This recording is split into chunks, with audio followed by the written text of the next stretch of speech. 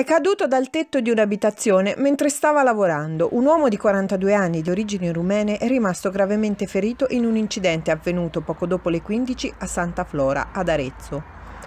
L'uomo stava lavorando al rifacimento della copertura dell'edificio quando è scivolato ed è rovinosamente caduto a terra. Sul posto sono accorse automediche e ambulanza. I sanitari del 118 hanno attivato l'elisoccorso Pegaso che lo ha trasportato all'ospedale Le Scotte di Siena in codice rosso.